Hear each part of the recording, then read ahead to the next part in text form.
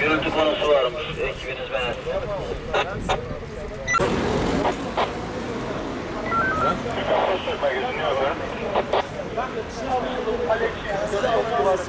Dün gece yarısı Edirne Migros kavşağında meydana gelen kazada bir kişi yaralandı, iki araçta da hasar oluştu. Şehir merkezi istikametinden İstanbul istikametine giden EU idaresindeki 34 BLS 658 plakalı araç, Migros kavşağından çıkış yapmak isteyen MB idaresindeki 22 AJ 689 plakalı araca çarptı.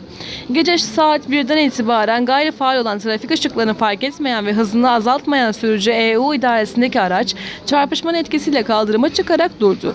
Kaza sonunda 34 BLS 658 plakalı araçta bulunan bir kişi yaralanırken kaza sonucu yol bir süre trafiğe kapandı.